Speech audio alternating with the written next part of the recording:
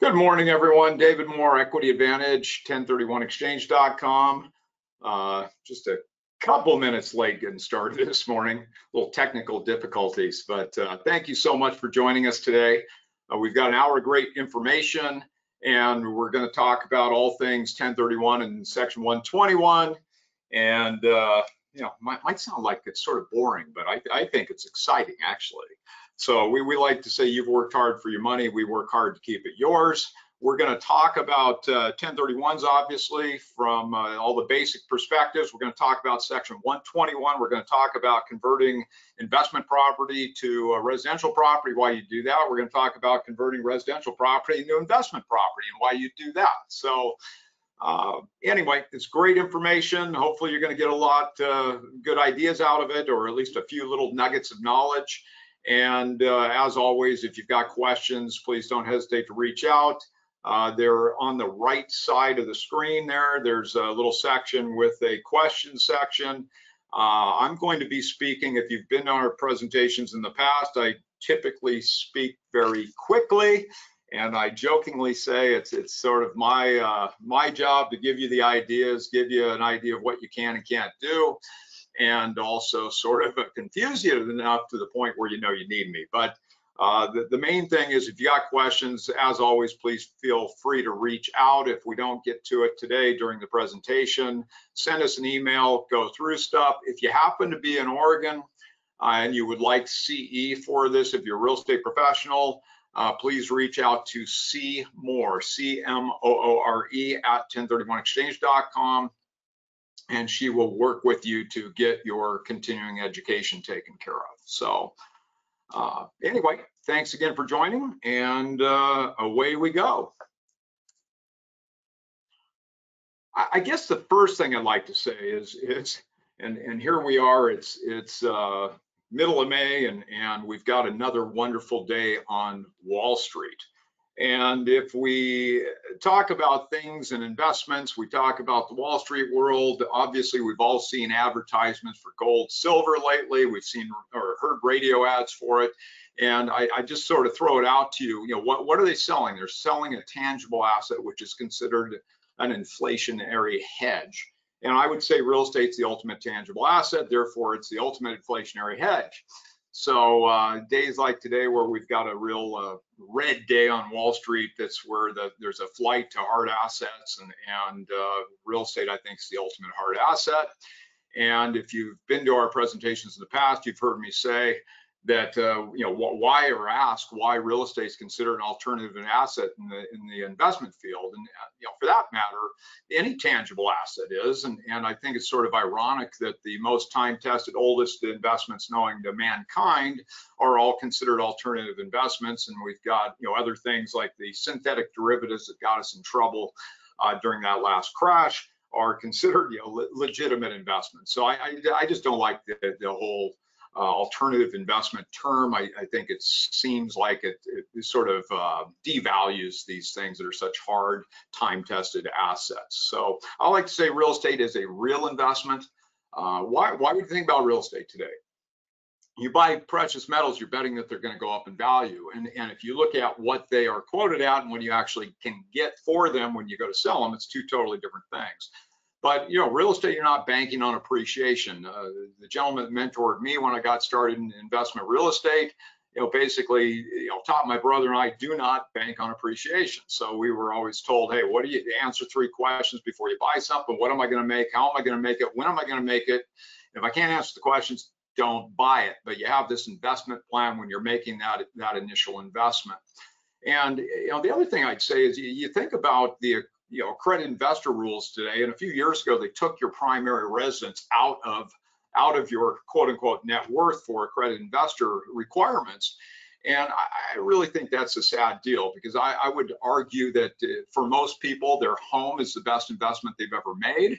A second home is, is, is another great investment for somebody to make. And then you've got the investment real estate. But you know, second homes for a long time were something that were excluded from 1031 or, or not excluded. I shouldn't say they were excluded, but there were people in the tax and legal community said that, well, gee, they're not an investment and I would argue the opposite. And a few years ago, we we finally got guidelines for second home exchanges. they're not pretty, but uh, you know they talk about what has to happen for a second home to qualify for 1031 purposes. But regardless, if we look at real estate, why why real estate? Why today? And as I said, you're not banking on appreciation. You got cash flow. Somebody else, if it's an income property, somebody else is buying that thing for you. Uh, you are probably going to have some cash flow on that thing that's coming to your pocket. Uh, you can leverage those investments. You've got interest deductions, mortgage pay down, depreciation. Appreciation at the end of the day is always going to be there. I, uh, unfortunately, a few months ago, lost uh, one of my uh, nearest, dearest old friends. And, you know, he said there was one golden rule to investment real estate, and that is do not sell it in a recession. And, and that was it, basically. He, he would also state that, you know, real estate's not a get rich fast scheme. It's it, it's a get rich slowly but surely scheme. So, you know, old Mr. Nelson, the 1031 guru, I thank you for those words of wisdom. I miss you, uh, and uh, hopefully you you're up there looking down on us, uh, smiling right now. So I'm sure you are. That's the way you are. So anyway, get rich slowly but surely. So what is gain? I, and I really want you guys to think about this because gain has absolutely nothing to do with profit. Gain is simply a tax calculation. Gain is the difference between the adjusted sales price and the basis on your property. Your basis on the property is what you paid for it plus capital improvements minus depreciation. Uh, but that, that, that purchase price can vary dramatically depending on how you bought the property. If you pull money out of your pocket to go buy the property, that purchase price is a purchase price. If you inherited a property, you got a stepped up basis current market value, whatever the property is worth the day you inherited, that's, you know, that was that initial quote unquote purchase price. If you're uh, gifted something, then you're going to, you know, you're going to receive that property at the basis as a person that granted that gift to you. If you've done 1031 exchanges through the years, those are basis carry forward transactions. It's a tax deferred exchange. It's not tax free. So whatever gain you deferred out of one property, that gain gets carried forward in the next property. If you had a primary residence, think about it. A lot of times people's first investments are home and then they move out of that home, they get married, they have a kid, they're now that home's too small, they keep the home and, and, and rent it out, for a period of time. We're gonna talk about converting assets. But uh, if we look at if we look at a home and we think about so I've been doing exchanges for you know over 31 years at this point. In 1997, we had section 1034 was replaced with section 121. 1034 was the old residential rollover. As 1031 is a basis carry forward, 1034 was sort of a basis carry forward situation too. 1033 is another one where you can have that basis carry forward. 1033 is involuntary conversion. If some state, you know, municipality takes a property, uh, they're typically going to give you that 1033 option, which is very attractive. If you've got the option of going 1033 or 1031, please do 1033.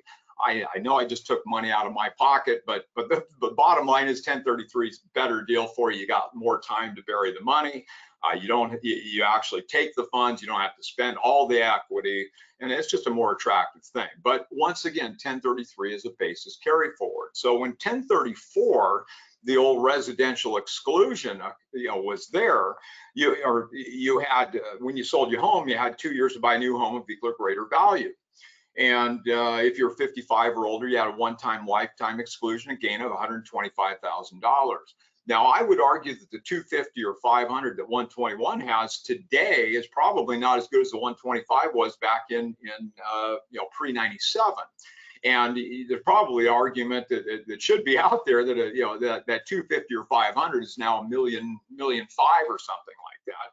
Uh, just if you think what's happened over the last couple of years with with real estate and now with inflation hitting everybody, that 250 or 500 is woefully inadequate and that's why we're going to talk about converting a primary residence into invest or you know into an investment property and using 1031. So we'll talk about that in a while.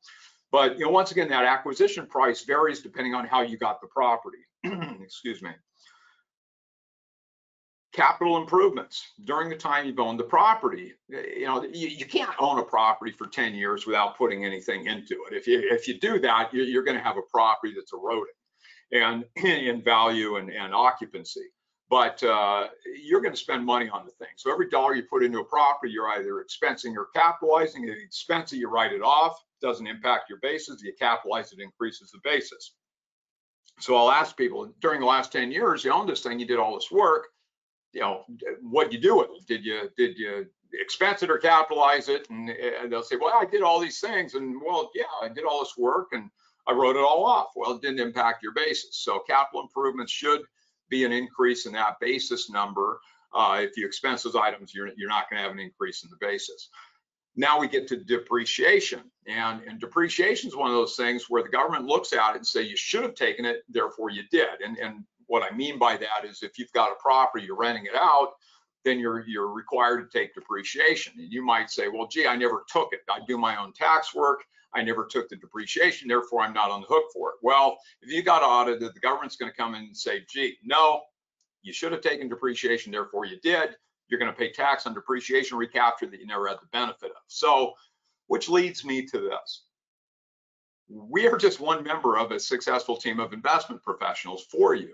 You want the best team you can possibly get. You're going to have title escrow people you work with day in, day out, critical to any successful investment. Good, competent tax and legal people, finance people, property managers. You know, you're going to have a team of people, the brokers that are involved with the transaction. All these people, it's a complicated world these days. So take advantage of the professionals in your life let them do their job and, and you do your job, take care of what you need, and you're going to be happier that way. So when we talk about tax work, I, I, really cannot stress enough that I think good tax people are, are some of the most critical people in your life.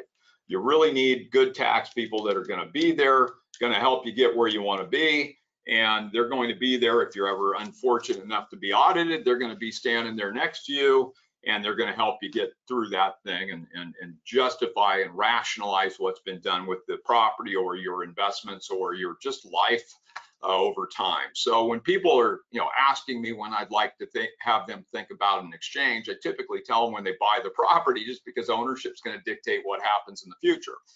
But you know, they need to at least think about it when they go to consider a sale. You, you want to talk to your tax people, be armed with the information, understand what the tax liability is going to be on a potential disposition, whether it's your home or an investment property or anything, so you can really be prepared for any tax consequence that might be there. The 250 or 500 to Section 121 offers, uh, as I stated earlier, is woefully inadequate in today's world. So there's lots of people that will sell something and they feel trapped or they don't realize that they're going to have tax exposure on these things. And you really need to be aware of that. And the best way to be aware of that is by talking to your tax people and getting those numbers. And that way you're prepared with the information that's going to eh, arm you uh, with the ability to make intelligent decisions. So basis is the purchase price, capital improvements minus depreciation. You're going to subtract that number from the adjusted sales price, and that's going to give you gain. Now, about in the middle of this page, it says in bold, it says phantom gain. Now that is something that is very ugly. All right, phantom gain is a situation where if you've got a debt over basis, uh, let, let's say you have a property that's in foreclosure, for example, and and uh, so you say, well, gee, I you know, I lost all my money. I, I got nothing. How can I have a gain in this transaction? Well, if the debt exceeds the basis in the property, the difference between the debt and that basis is gain.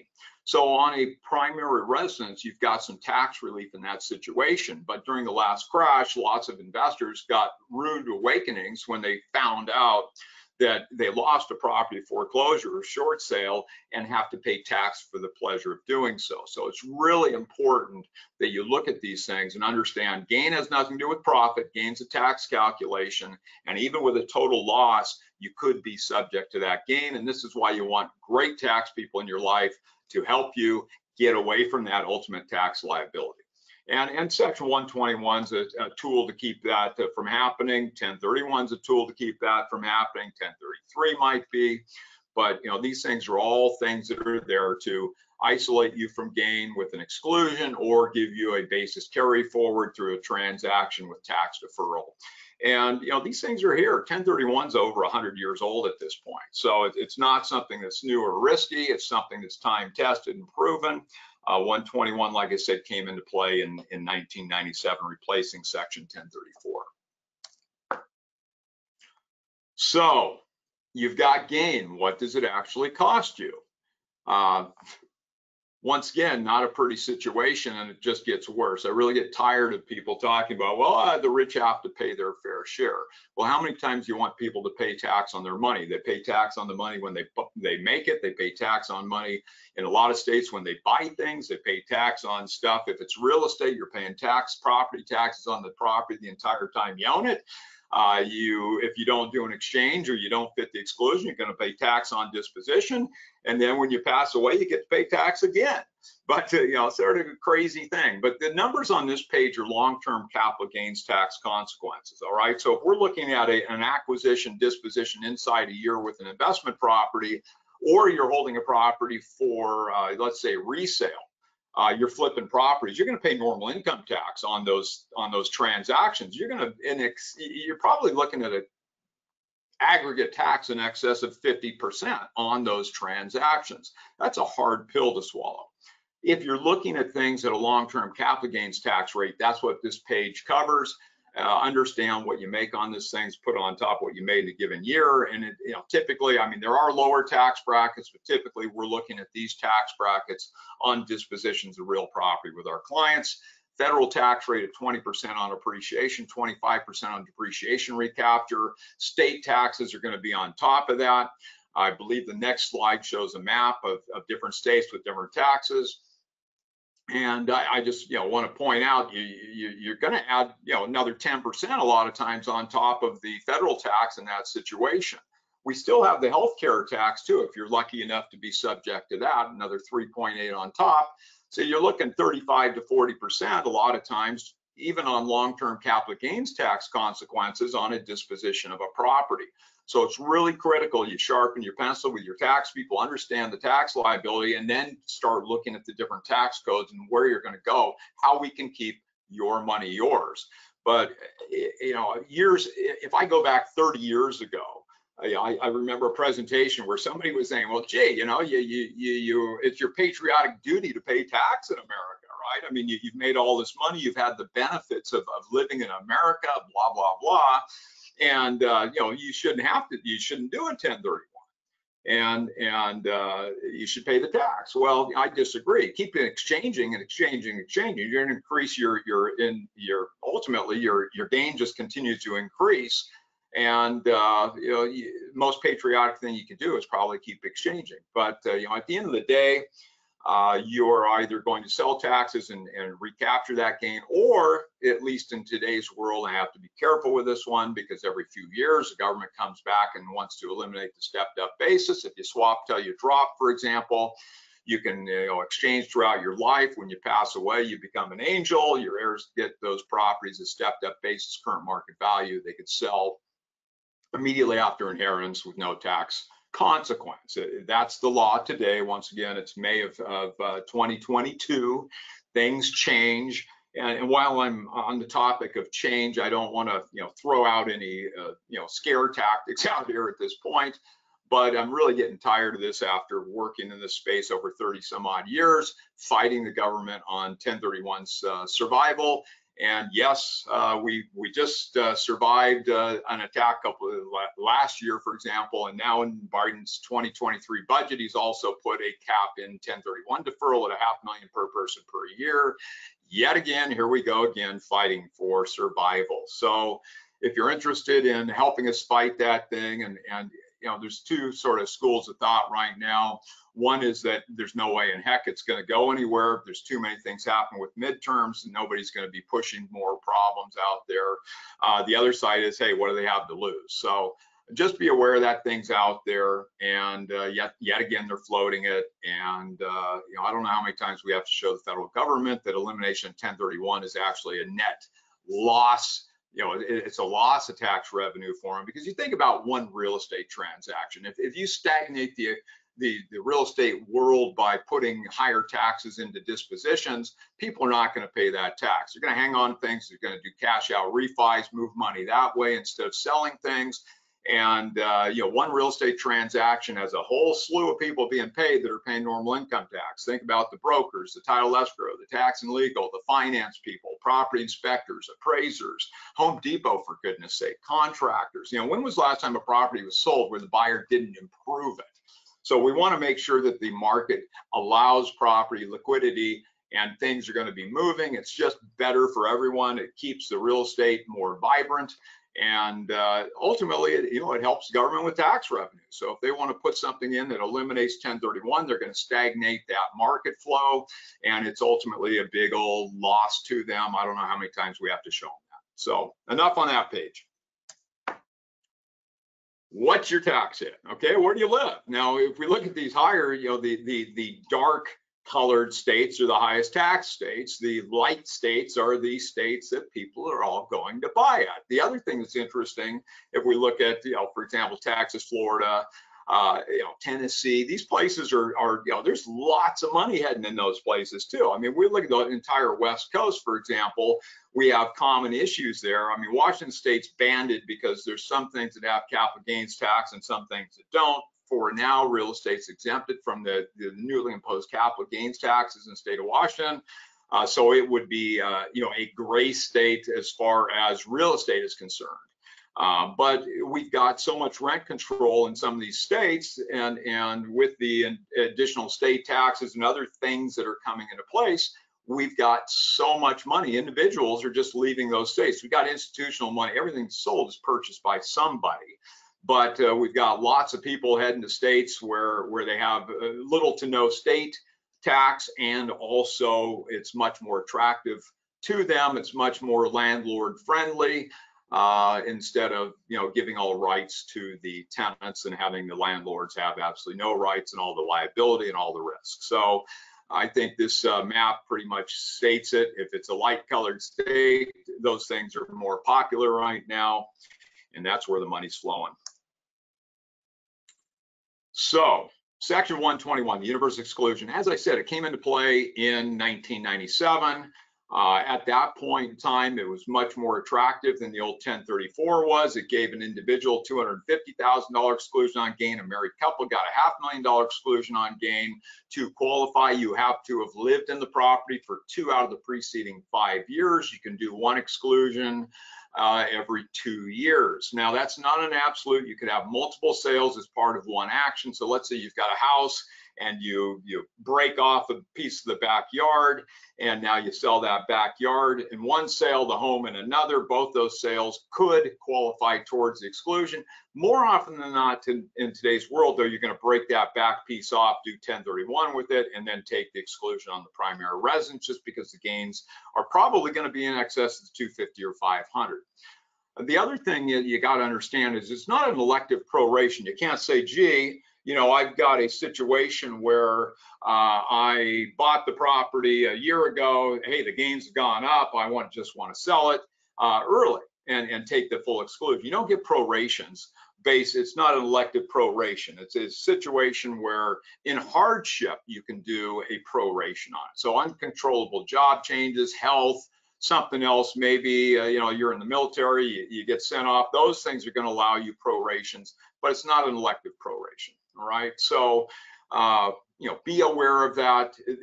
COVID, for example, people bought properties, things changed. 1031, I hear people say all the time, well, the code says, hey, you got to hold it a year, you got to hold it two years, you got to hold it five years. There's no stated black and white hold in the code. It, it's really discretionary in section 1031. 121, like I said, the rule is two out of the preceding five years. What I want to leave you with, though, is it, you know, Section 121. It's not what the property is at time of disposition. It's whether it fits a two out of five.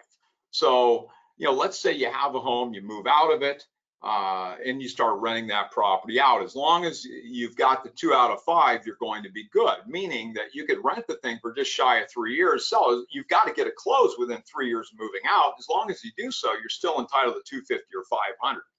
So we have lots of people that these days have gains in excess of 250 or five. They come to us, we tell them move out of the property. They season it as an investment. Uh, we'll talk about hold periods in a few few slides.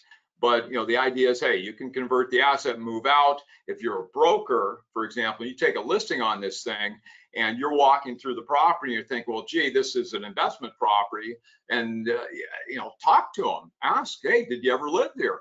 If so, how long ago? And, and if they did live in it, and you're, now two years into that three-year period after they moved out or two and a half years into it, you know, you got six months to get rid of this thing where they're still entitled to the exclusion. So timing is everything in these transactions. Ask the questions, talk, understand what's possible, you know, and, and uh, obviously the title list is, you know, what, what are you selling? What do you want it to be? Because we've got the ability to season things, move things, as I said earlier, from investment to residence or residence into investment. And there's reasons to do both of these things. So once again, section 121 is not what something is at time of disposition. It's whether it fits a two out of five. And we, you know, you might have a situation where you've got a single asset without allocations different directions too. 1031 is a hundred over 100 years old at this point all right and we used to be I, I mean those of you that know me I, I like fast stuff right? I mean I, I, like cars i like planes i like boats all that stuff. Uh, we, we used to do a lot of high-end cars and, and that was a lot of fun for me as a fan of high-end cars. And uh, you know unfortunately we lost personal property transactions in 2017's tax reform I think we lost it because it was, you know, those horrible one percenters that owned those things that were doing the exchanges of, you know, aircraft and and and, and artwork and and uh, we on, on the other side we lost businesses too. So if you've got a business you're you're relinquishing, if you've got a you know a, a, an aircraft, something else personal property wise that, that you're going to trigger a tax consequence on, where you want to look at this point in time. 1031's gone, it's out of the option uh, menu for you. You're going to look at a QOZ or an OZ, a qualified opportunity zone or an opportunity zone. And I sort of look at those as a, a sort of like a Roth conversion, right? You've got limited deferral into the investment, but if you hold the investment till maturity, you're going to have tax-free gain on that ultimate disposition. Uh, it, it's a complicated topic. If you want to know more about it, take a look at our YouTube channel. Just go in, type in uh, Equity Advantage, uh, QOZ or Opportunity Zone. You're going to see a whole series of videos with a you know a lawyer that uh, specializes in that uh, space. And it talks about it. We are actually going to do an updated uh, video series on that. Maybe, who knows? Maybe if it's something you guys would like to see, let me know. Maybe we set up a, a webinar on the topic too but that's where you're that's where you're going to be looking at with respect to uh, alleviating tax consequences on personal property. You can also look at immediate expensing of acquisition stuff. Once again, good tax people are going to be critical there. But 1031 today applies to property that's been held for investment and you know applies to property acquired with the intent to hold for investment. Now we have an issue if you look at that application for certain partnerships, partnership interests are specifically prohibited from 1031 treatment. So what I mean by that is that if you know let's say a group of us go out and buy a you know a large business complex okay we're probably going to own it as a limited liability company now what i say at the top of the seminar i said you know if you ask me when i'd like to talk to you about an exchange i'm going to tell you when you can contemplate a, a purchase and, and because I'm going to have that conversation, it's like, look, the group of us buy the building as an LLC. What do you think the odds of all of us owning that property or wanting to own the property in five or 10 years is? Probably slim to none. So when we go to sell that property, do you think we're all going to go forward together? Probably not too. Uh, so, you know, when a limited liability company owns the asset and it's a multi-member limited liability company, you don't own the property, the LLC does.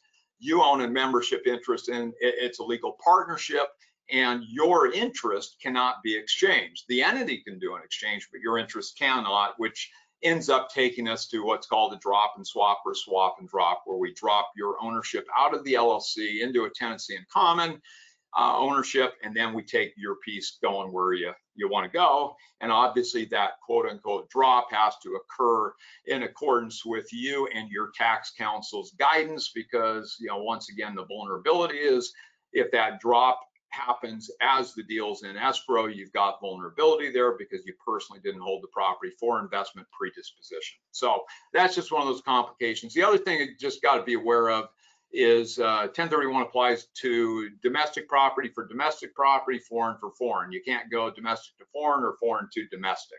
So just keep that in mind too. So you can't go and take the money and, and go buy in the in the Bahamas, uh, selling in Texas. All right.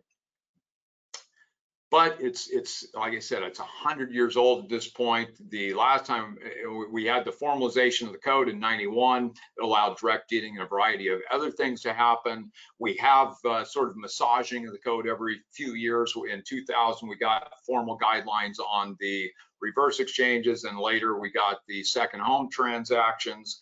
But you know, things get sort of refined through time. But you know, in essence, it's, it's really pretty much remained the same since 1991.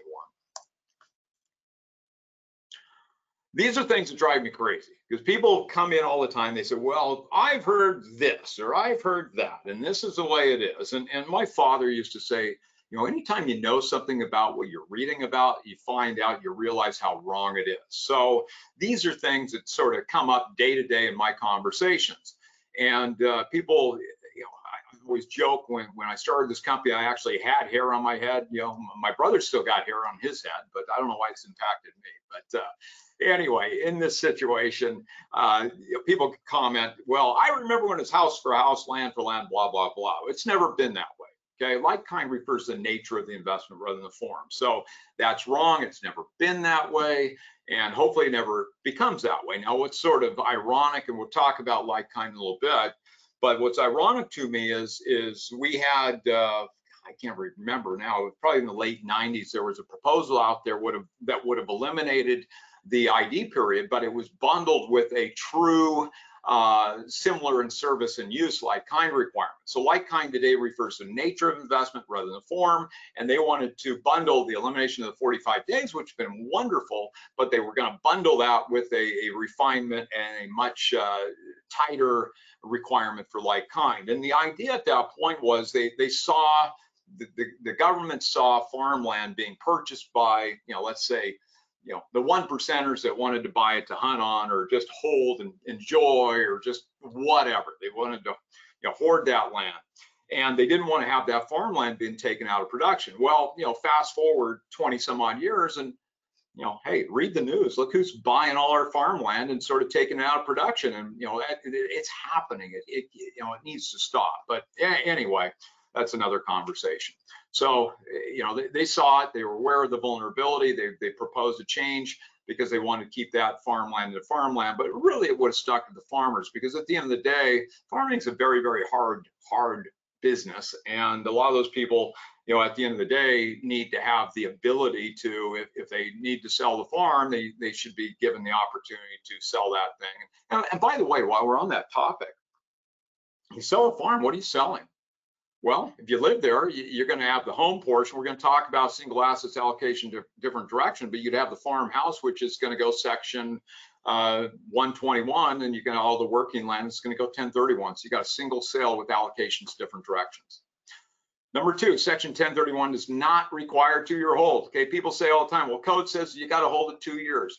In a related party transaction, there's a two-year required hold, and even in that, if you read the fine print, uh, the, the, fine print states unless there was no intent to avoid tax. Well, you're going to see in, in, in, tax law that rarely is in black and white, lots of gray, uh, and then that's one of those gray things. So there's no stated required hold in section 1031. Required party transactions have, or related party transactions have a two-year hold but you know other than that it's not there. If you wanted to acquire a property and convert it to your primary residence and then later sell it uh, there is a five-year hold in that transaction uh, or it'd be a fully taxable sale. We'll talk about that a little bit later when we talk about the housing assistance tax act.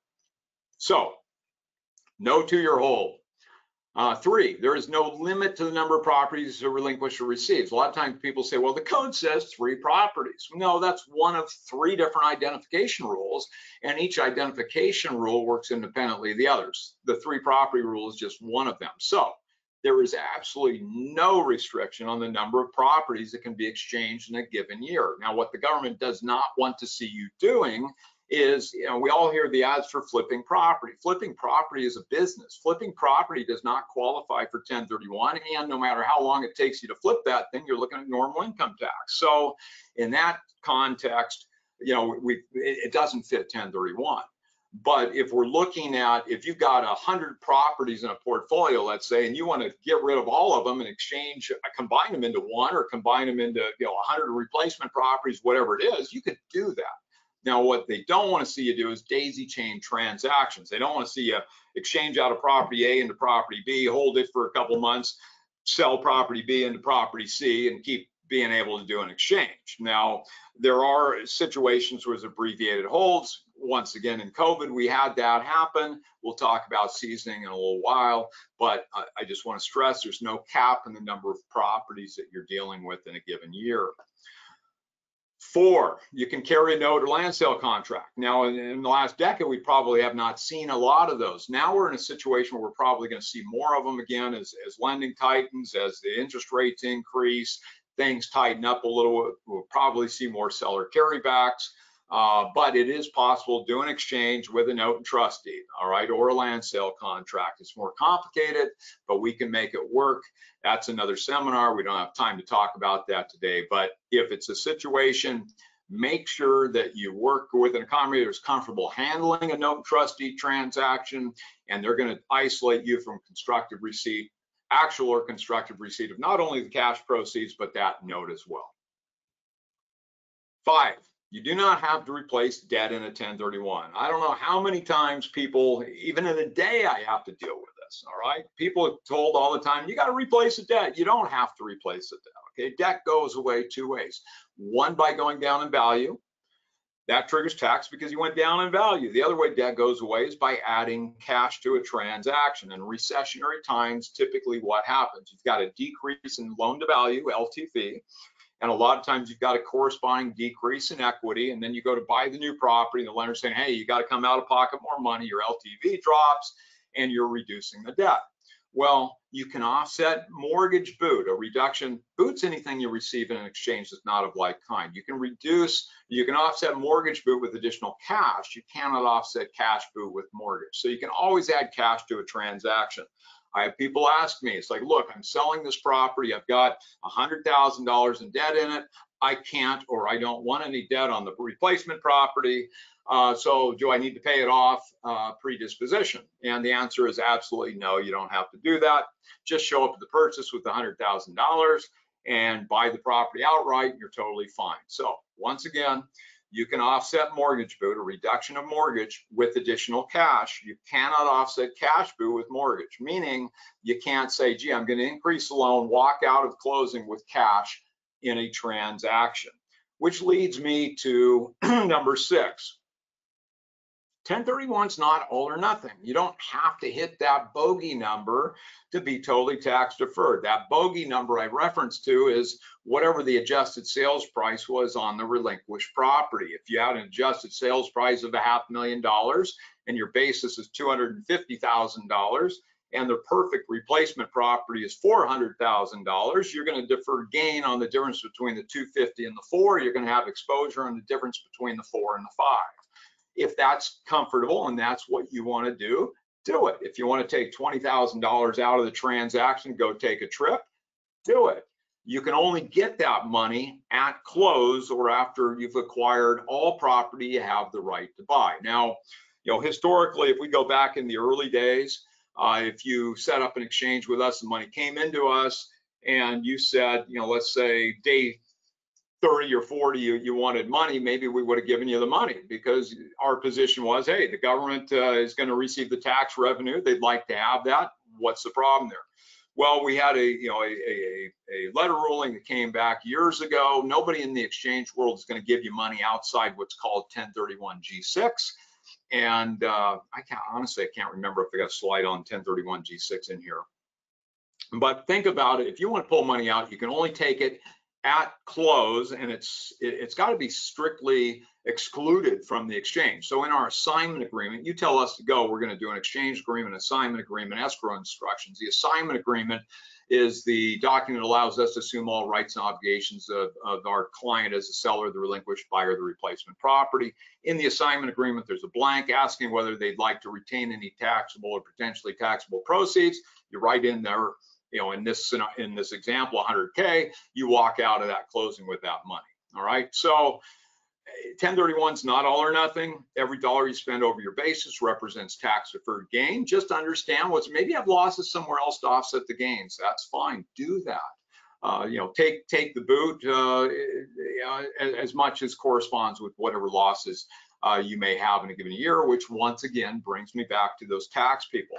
Talk to them when you're contemplating a sale, give them an idea what you think the property is worth, look at everything else you have in your life, and and don't call your tax people April 10th, uh, you know, and talk to them about this stuff. You know, talk to them before a year's end so that you can do tax planning and really let them do their jobs. So once again, 1031 is not all or nothing. Defer what you choose to defer. Understand you just pay tax or have tax exposure on any boot that's received. So this slide, every time you sell something, think about it. Look at this slide. What are you selling? It could be your home. It could be uh, an investment.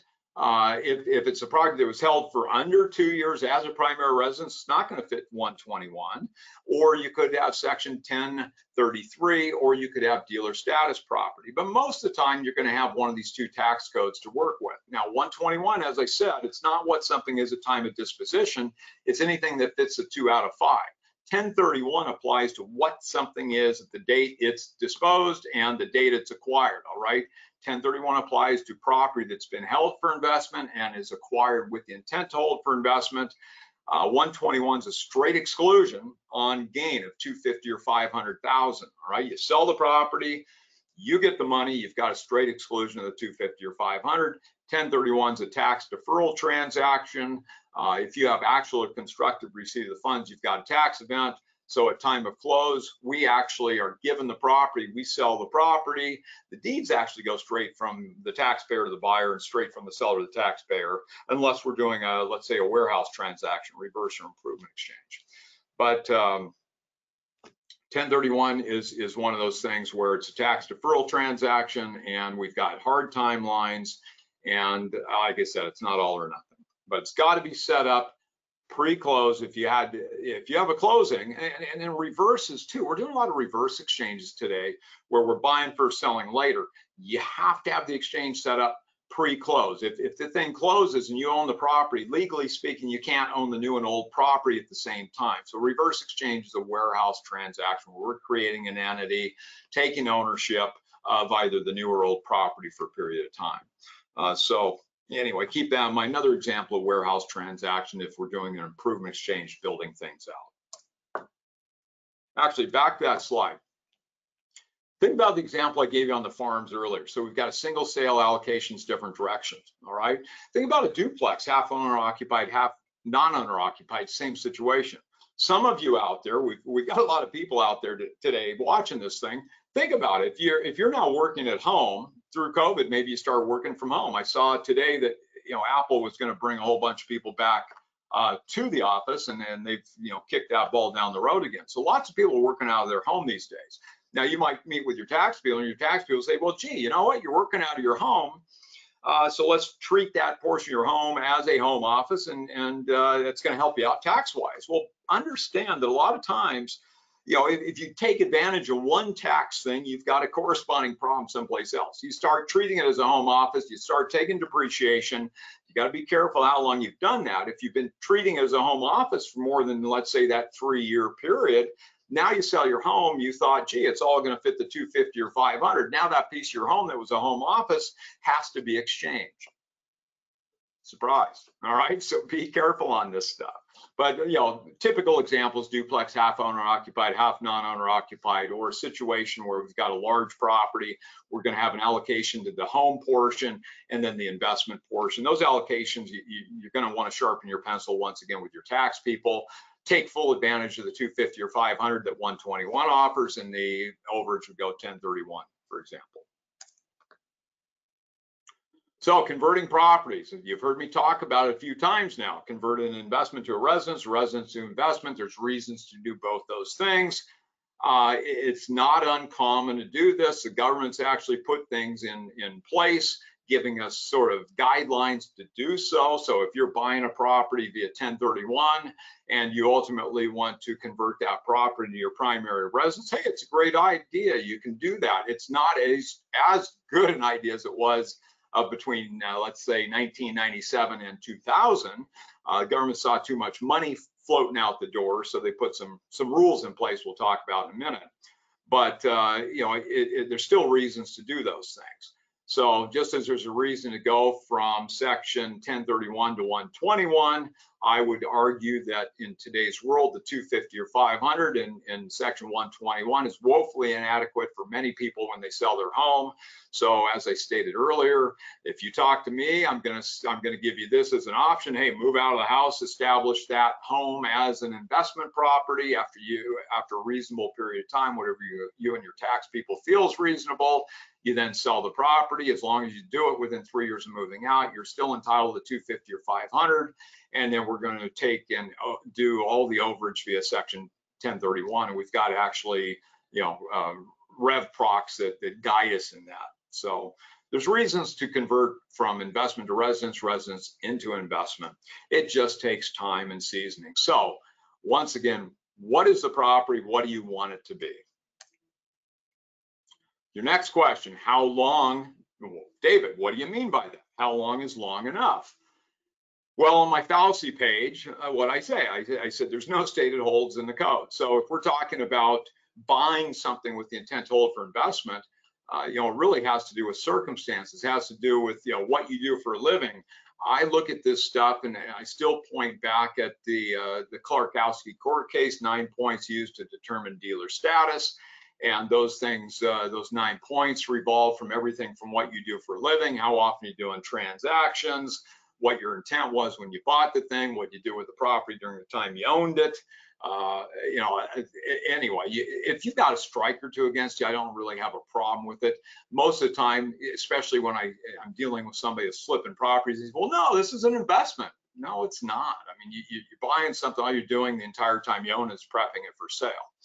So uh, you and your tax people might might argue that you know a couple times, but uh, you know after that you're you're really you're you're sort of barking up the, the, the, the wrong tree on that. So uh, seasoning, I would say a year based on two factors, as long as it's not a related party transaction. The two factors I reference are one, it's been one year's been proposed a couple times, and two, you look at the break between short long-term tax rates on assets held for investment. Without said, with that said, the Reesink case is a situation where somebody did an exchange, bought a property, held it for four months, moved into the property, got audited, taken to court, prevailed in court after a four-month hold.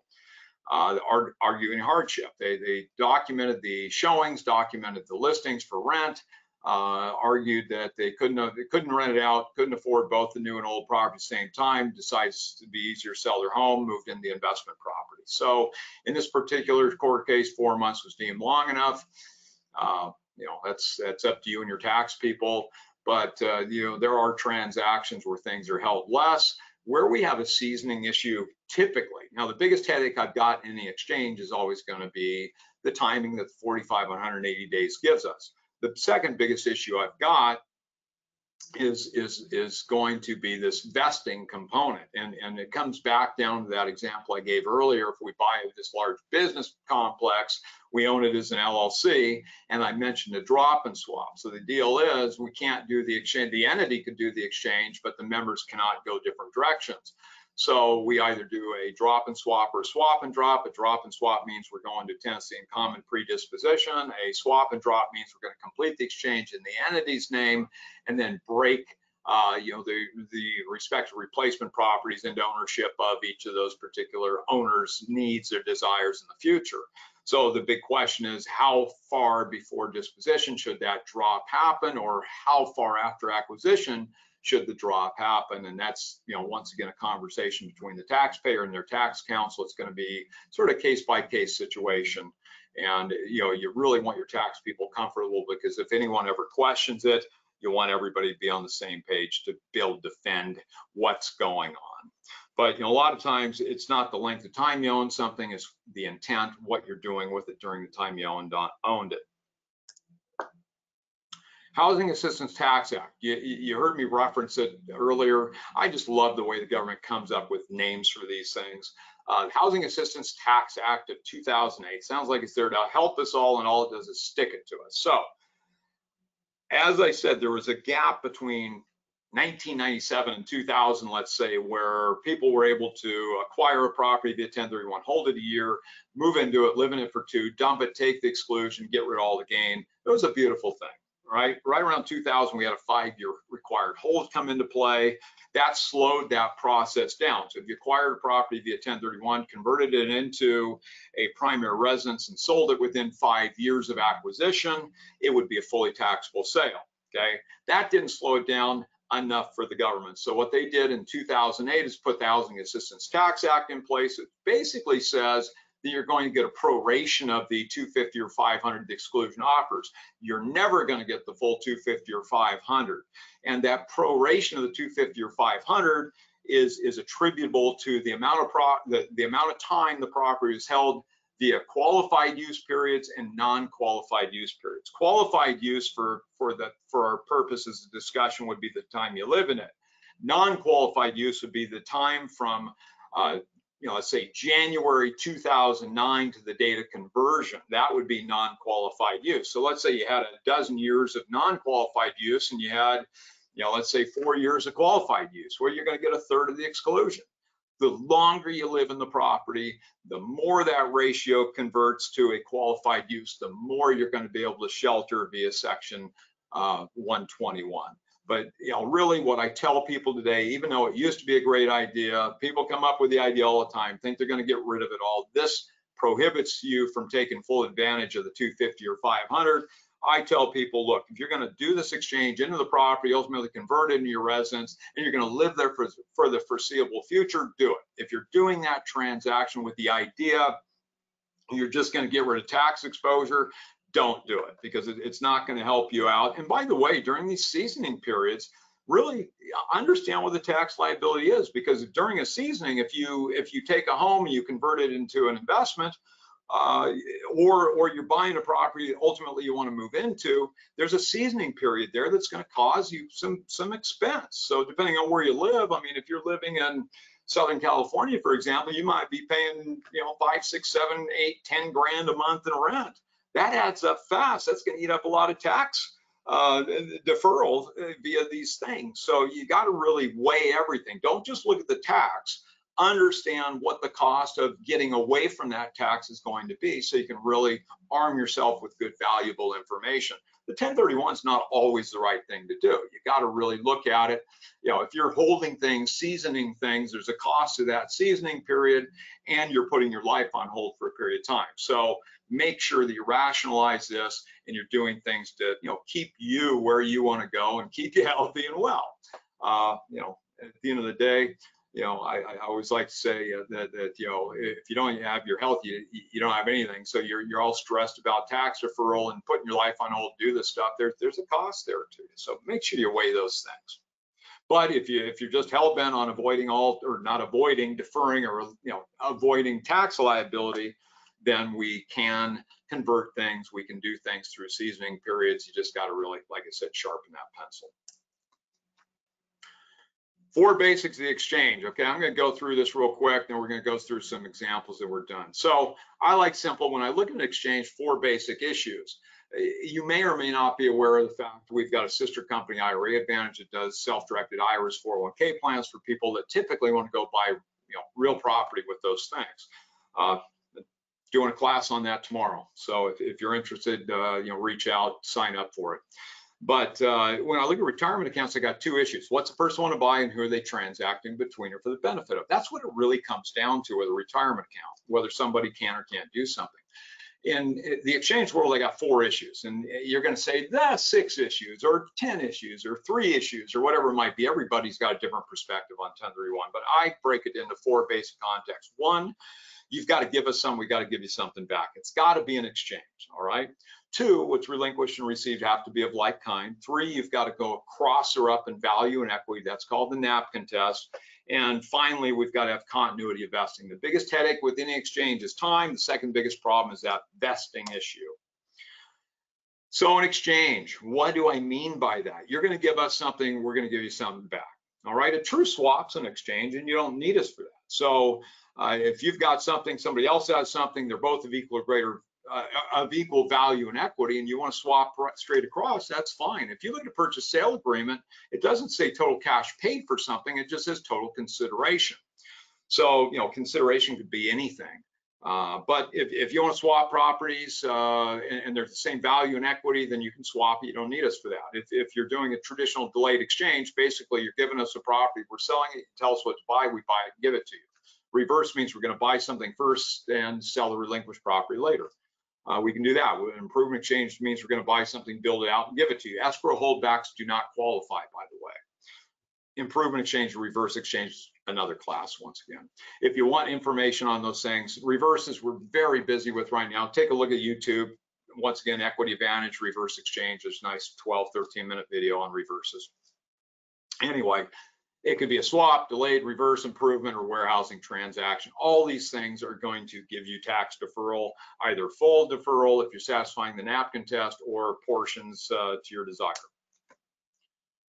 Like kind refers to the nature of the investment rather than the form. Any real property held for investment is like kind with any real property acquired with the intent to hold for investment. You can go from rental house into land, apartment buildings, place at the beach. All those things are going to be of like kind. Uh, something I'll just mention because we've got a lot of money going into them right now is let's say Delaware Statutory Trusts, acronyms DST. You got to love DSTs, uh, the, the, the whole acronym world, right? But DST there's something called deferred, deferred sales trust too.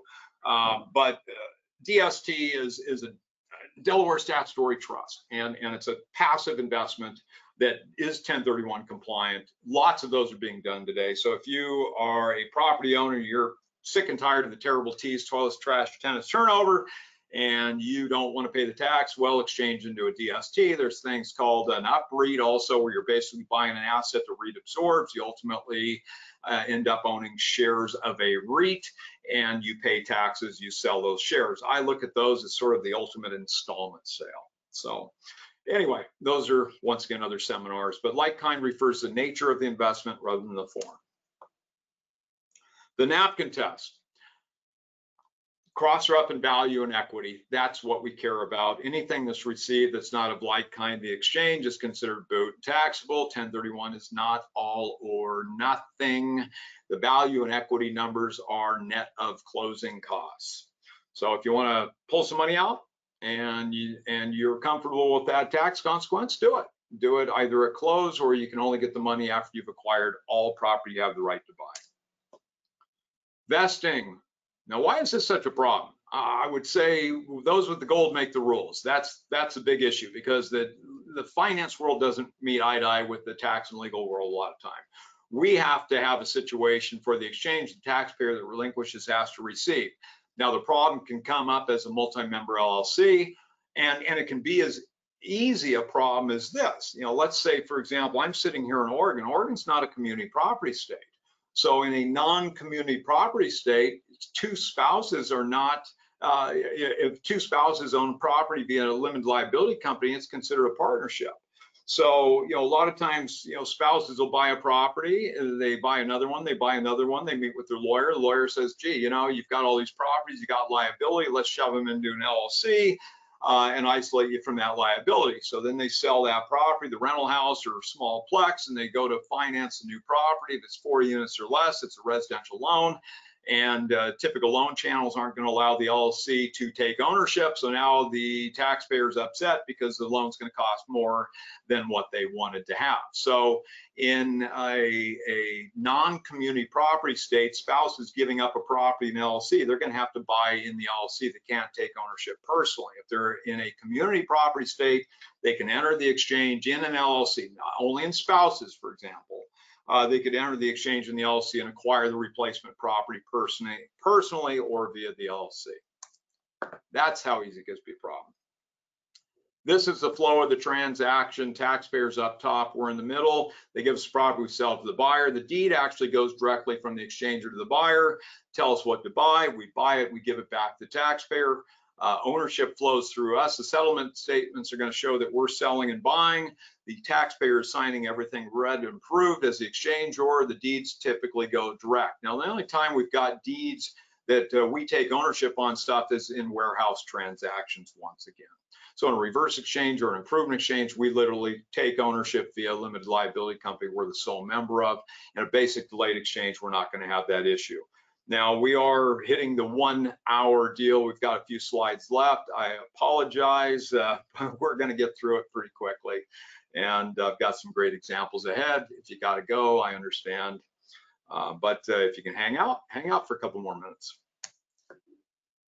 Timelines, 45, 180 days, both start at settlement and uh, no extension short of a presidentially declared national disaster. So we had extensions during COVID. Typically, we have uh, some type of extensions annually with tornadoes or hurricanes.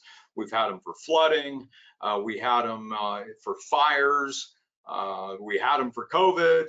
But uh, you know, pre 9/11, we never had one, and since then uh, we have them annually for different regions of the country. You've got to show that you were directly impacted by that disaster. You can't just say, well, hey, there was, you know, you, are in you're in California, disasters in Florida, you were impacted. Now, if you ID Florida property and it went away, that would be, you know, obviously something's there. Or let's, you know, let's say your accommodator is impacted by you know, a problem and they can't, uh, you know, they're not able to work, blah, blah, blah, that could, you know, give you an extension too. But anyway, typically you're, you're not allowed any extension short of a, a, a you know, declared national disaster. And uh, it, it, it's, it's not 45, 180, it's 45 with a total of 180 be aware come year's end, you've got to complete your transaction pre-filing a tax return. So it's 180 days of the due date of your tax return. So make sure you, you complete the exchange prior to filing a return. If you're not going to get the exchange done until after April 15th, file an extension.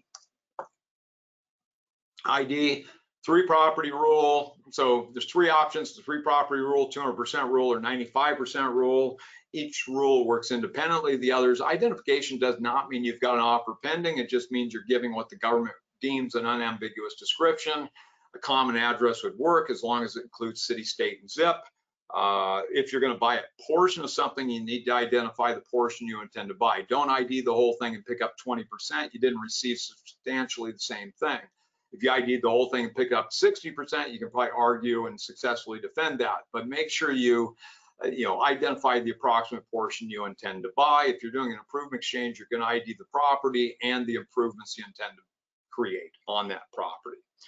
So, uh, you know, it's three property rule, 200% rule means if you want to ID more than three properties, you can. Total value of the properties cannot exceed 200% of the relinquished property's value.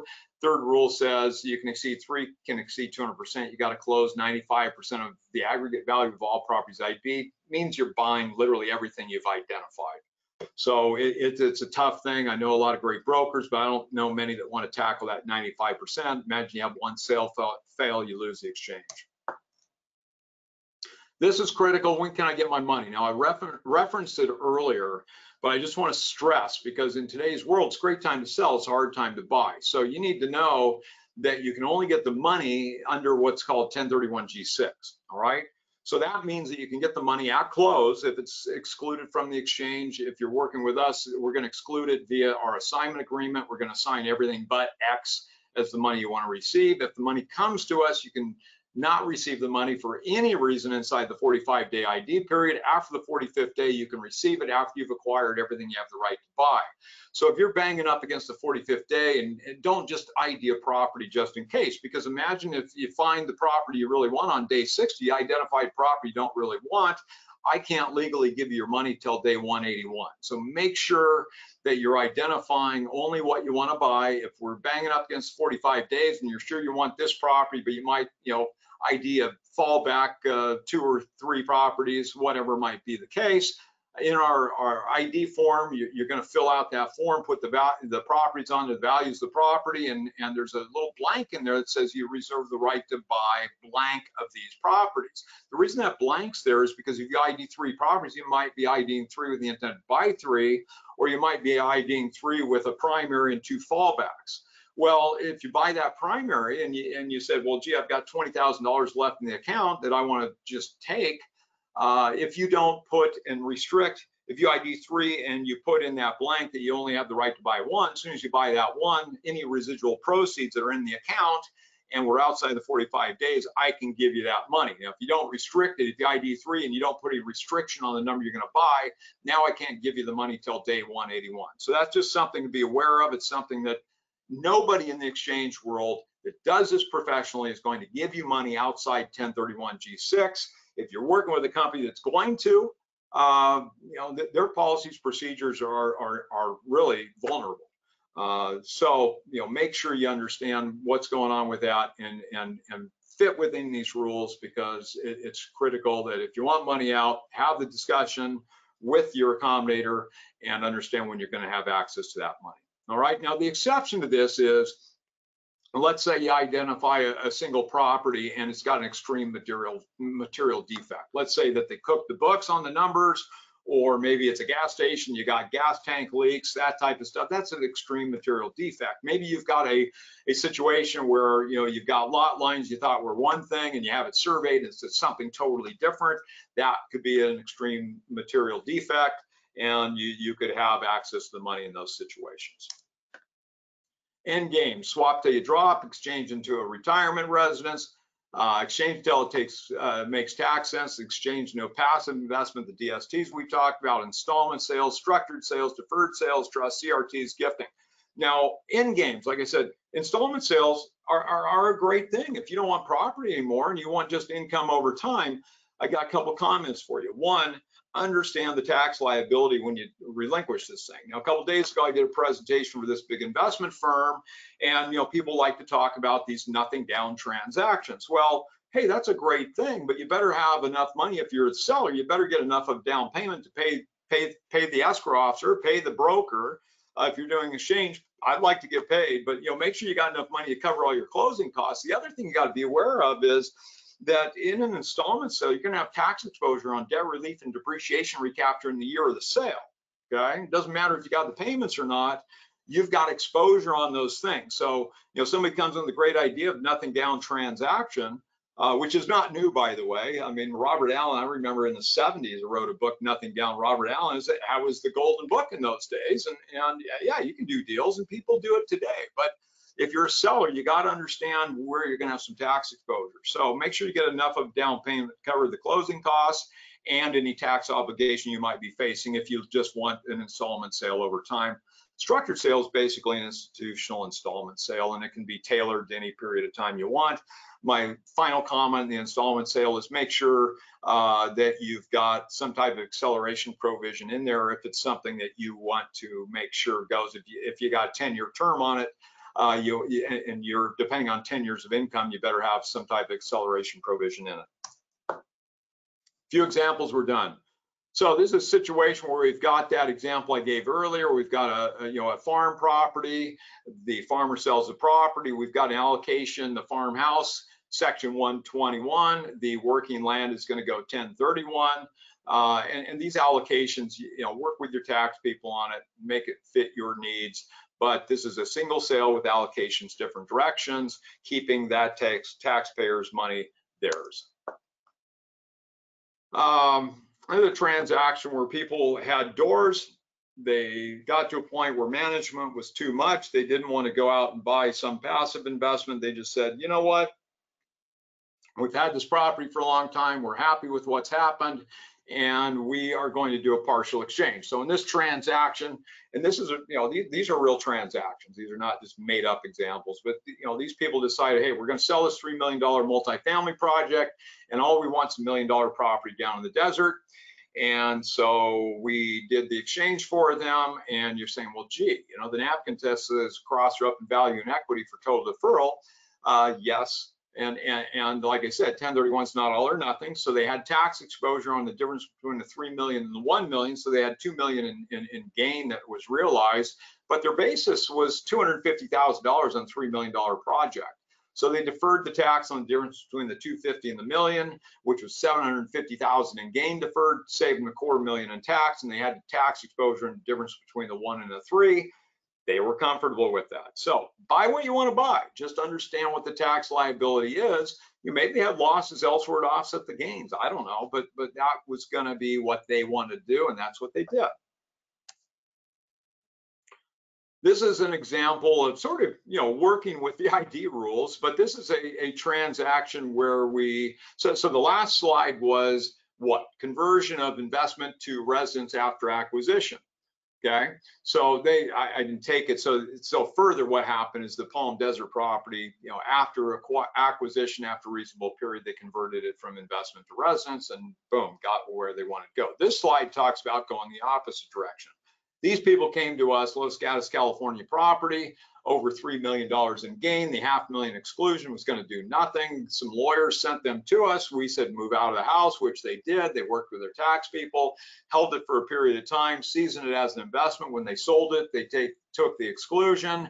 The balance of the money came into us via 1031. They bought 24 different replacement properties inside that 45 day period. The reason they closed them all inside the 45 days is uh, the husband was a lawyer, the wife was a CPA. She did everything. She knew the tax consequence of a failed exchange. She wasn't going to take that chance dealing with the 95% rule. So she got them all done inside the 45 days. So we went from a million dollar tax hit roughly to zero and they got all those transactions out of it. I, I think that's a, you know, definitely a win-win situation. Uh, da, da, da. I've got this slide twice. I apologize, but you know, on the bright side, we're over time and I don't have to cover it again. Last example, curveball, nothing to do with exchanging, but sort of baits you to come, you know, listen tomorrow. Uh, you know, only dumb questions one you don't ask. Ask the questions. This, these people, husband and wife, and this does talk about, you know, sort of conversion of assets or working with different things they've got husband and wife retired came to us uh, wanting to buy a mobile home RV park with their IRA accounts, and that is something we can help them with. So when they first inquired, I thought, well, gee, we'll do a checkbook IRA for them. Uh, which in a nutshell means we're going to take his and her IRAs, uh, create an IRA specific limited liability company. The trust company makes an investment in the LC, which then buys the investment. That would have worked as a pure investment. Well, as we talked, it turns out they wanted to live on the property and they also wanted to be the on-site managers to take compensation. Either one of those things by itself would have triggered prohibited transactions, would have blown up the entire IRA. So we had to shift gears entirely. We created something called a rollover business startup, and that combines a 401k plan with a C corporation. So we created the 401k plan. The plan buys the corp. The corp bought the park. These people got an investment they got a job and a place to live all with this one transaction. I think that's a win-win-win. And it sort of is a great example of what is possible when you get that good team people together. Thank you very much for joining us today. I hope you found it helpful. If uh, you have questions, uh, obviously I didn't have any time to get to them today. If you've got them on that sideband, we will be answering them. We'll get you answers back. If you want to give us a call, please don't hesitate to do so. You can reach us at 503-635-1031 or 800-735-1031. Once again, 503-635-1031 or 800-735-1031. We're happy to help you out.